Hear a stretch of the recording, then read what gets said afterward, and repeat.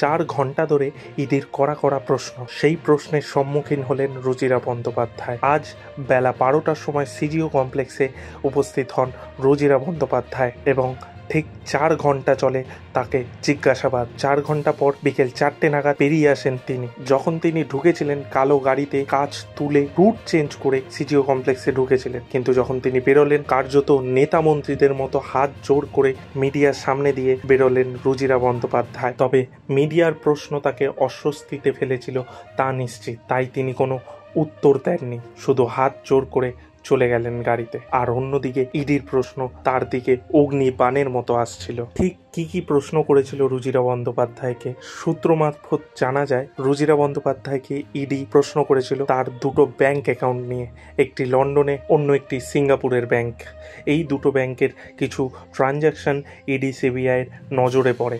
সেই নিয়েই মূলত প্রশ্ন করেন এডে আর অন্যদিকে, হাইকোর্টের নির্দেশ অনুযায়ী রুজিরা বন্দ্যোপাধ্যায় বিদেশ গেলে তার পারমিশন নিতে হতো ইডির কাছ থেকে। সেই পারমিশন কি তিনি নিয়েছেন? আর নিলেও তিনি যে বলছেন মেল করেছেন, সেটা কোথায় করেছেন?